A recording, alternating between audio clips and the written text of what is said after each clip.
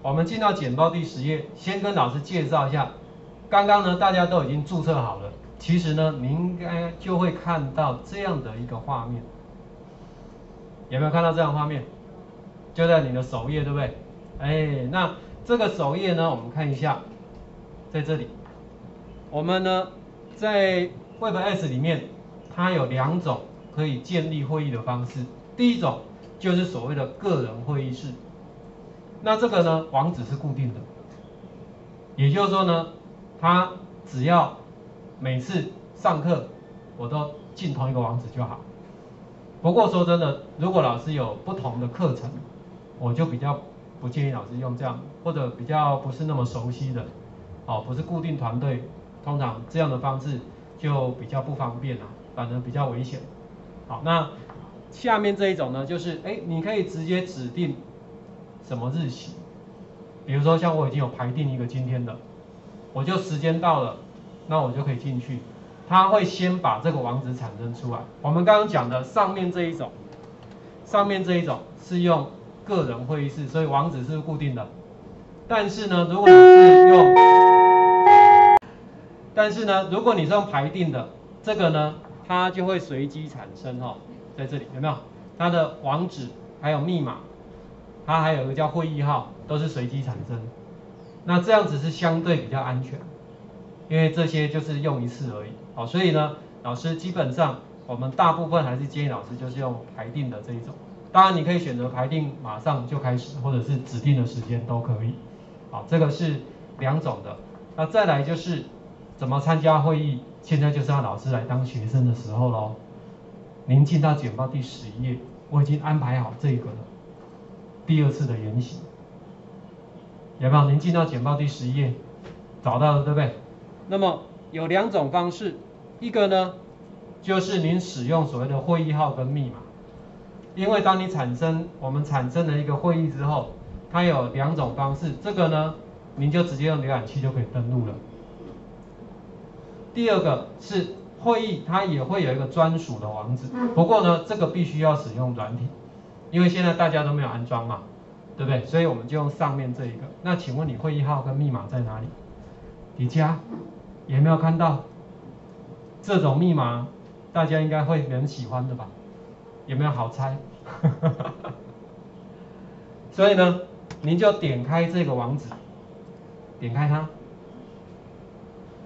点开好，点开之后有没有一个加入会议？假设您没有登录也是可以的哦，因为我们刚刚讲过嘛，参加会议的人是不用，对不对？但是你现在打了之后，请问进得去吗？拍谁？主持人还没有开会。我还没有进去，你不能进去，这是避免小朋友进去里面乱玩，对不对？好，所以等我一下，我先主持人进去一下，我的主持人在这里，我按下开始，这时候老师先进去里面，那您看，他就问我要安装有没有，还是要用浏览器？有没有看到可以从下面浏览器？所以如果您刚刚打进去了，他也会问你这件事情，我就跟他讲，我就用浏览器就好了，我先不安装软体。好，他问你的，哎，你们家的麦克风可不可以用？好，那当然要可以啊，对不对？所以按允许。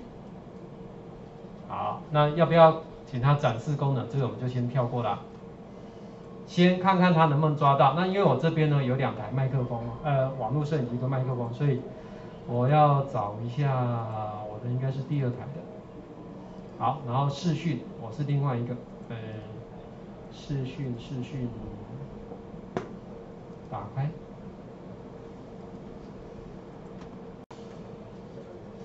，OK，这样进来确定，那我再它连线进去了，好，现在连线进去，那等我进来了，各位，您就可以用刚刚那一组会议代号跟密码。简报第十一页里面的，您就可以登录进来里面。那我怎么知道各位有没有进来？现在是只有我一个，有没有？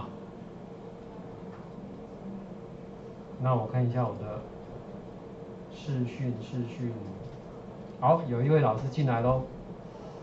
我把我的视讯设定一下。请他抓对。OK，抓到了，这样这位老师其实就会看到我的视讯，我的视讯在他的上面哦。点到这里，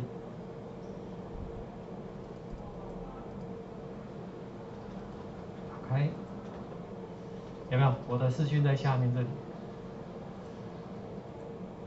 好，我等大家一下哦。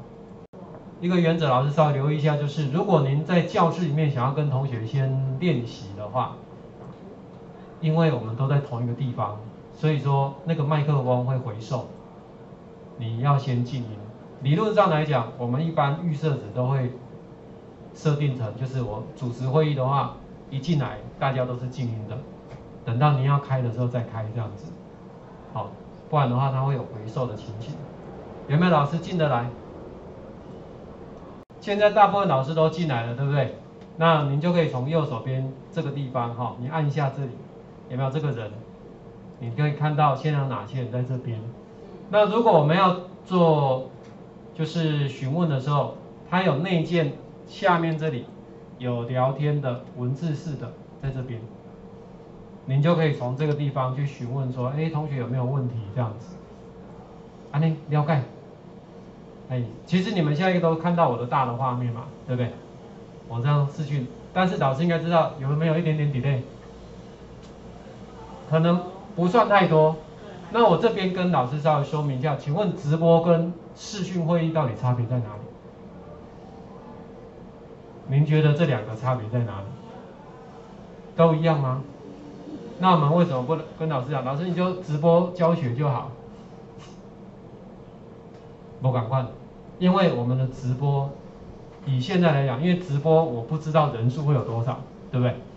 所以说直播跟会议最大一个不同，你会发现，只要是属于远距会议的系统或软体，他们一定会告诉你我的上限是多少。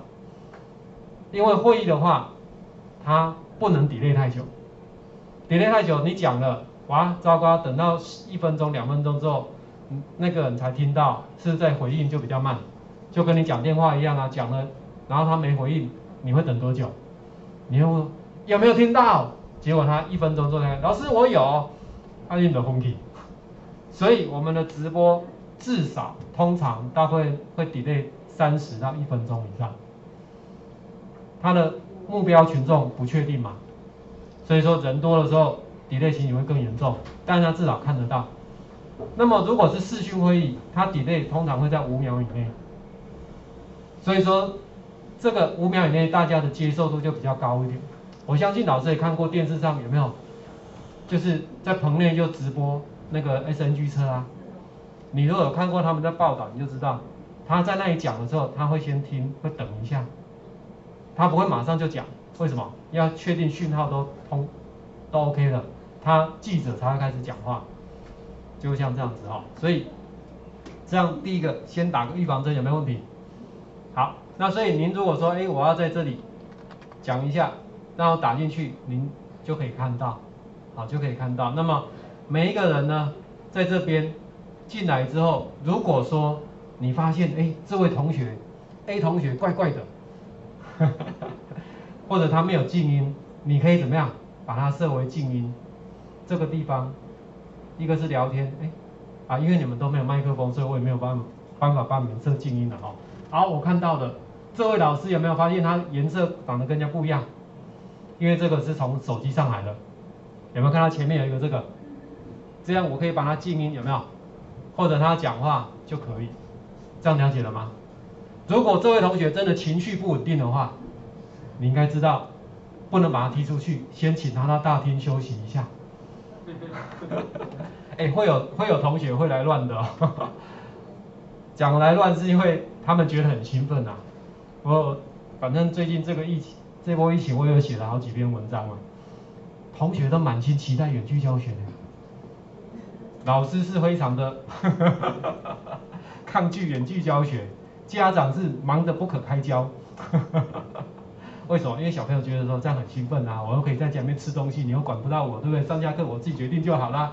我有没有看你应该知道啊。好，那我只要一个眼睛在那里就好了，你我在做什么你又看不到，哎，所以就会这样。那这个一字一字大厅呢，也是 Web S 一个蛮不错的功能，就是说你还不至于把它驱逐出境啊，好，就先把它请出去一下，那跟他沟通好再进来，可以再重新把它加进来，这样了解了吗？这个是您在使用 Web S 时候第一个啊，怎么进来，然后呢，大致上我们讲的这个叫做教室现场的管理嘛，对不对？先了解一下，那再来呢？如果老师真的准备要上课了怎么办？你现在准备要上课了，那当然老师可能会像这样，是把简报就打开了，对不对？或者是您的这个假设，可能是网页啦，或是那个一般的 Office 文件都可以。那我们现在就来看一下，你要怎么样把它这个画面给他们看哦，就是在这个地方，您看到这里。有没有一个，今天这个有没有共用内容？你把它按下去，你可以选择我是要整个荧幕都出去，还是只有某一个应用程式？那么一般来讲，其实大部分啊，老师家里面应该比较没有双荧幕吧？对不对？哎，这位老师自自愿分享他的画面有没有？突然又跳掉了，卖照啊！就是你按下去就就可以选择啊。那如果说老师有双荧幕的话，就像我们现在现场一样，其实这样是比较好的方法。为什么？其实你看我前面这边有双荧幕，我就一个荧幕分享给你，另外一个荧幕怎么样？我来做我的这些操控是比较容易。那如果老师没有，那您就只好用什么？某一个应用程式。哎，我点下去了，您是不是可以自己选择你要哪一个应用程式？有没有？你看我这边是不是有好几个画面都在这里，都在这边哦。比如说像我在这边某一个应用程式，我可以直接发给你看。那我也可以选择 Google Chrome 里面哪一个分页，就是我现在那个分页里面是哪一个，这样也 OK。好，如果我这边先给各位看一个，好，这个画面好了，我就分享。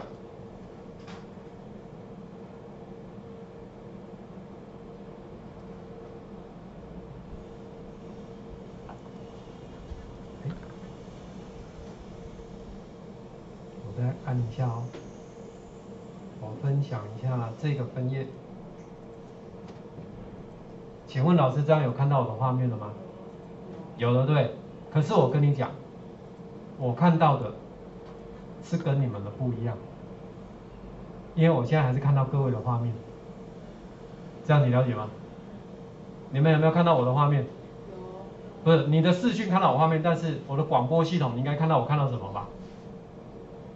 你看你另外一个荧幕，就是我广播那一个，有没有老师是看到自己的？所以因为我广播那个画面给你了，我是不是广播这个画面给你？对不对？所以老师就知道自己要认真操作了。这样了解了吗？等于你现在是当学生，可是你是又看到我的画面，知道学生跟老师的画面差在哪里了吧？如果我现在是在这边操作的，那就没有问题，跟你在视讯会议里面看到是一模一样。可是如果哎，我要问一下同学有没有问题？我在这里这样问是就没有用，我就要回到哪里？是要回到我的这边，回来问这边哦，同学有没有问题？对不对？那有问题的，你就可以进到这个会议聊天这边，就可以从这个地方去提问，然后老师再来做回答。当然，其实说真的，如果可以的话，我还是比较建议老师就哎有问题的同学你就用麦克风讲。啊，比如说像这边，我就把同学的麦克风就打开，有没有？当然，如果您觉得啦，这里是静音的哈。那如果您觉得说现在现场太吵了，你就按全部静音，这样有没有比较快一点？这个也可以，啊，你也可以从这个地方做，这样您了解了吗？所以为什么要老师先当一下学生？因为你这样，尤其我们这边那么方便，就是双荧幕。你可以很清楚看到，就是整个会议的整个概观，哦，不管从老师角度看，从学生角度看，这就看得很清楚。这样了解？所以你说会议系统难不难？老师讲不难啊。现在反而是老师跟同学要适应一下这样的所谓的上课方式而已。好，上课方式，OK。所以麻烦老师你先试看看哦。如果想要发言的，你也可以在这里发言看看。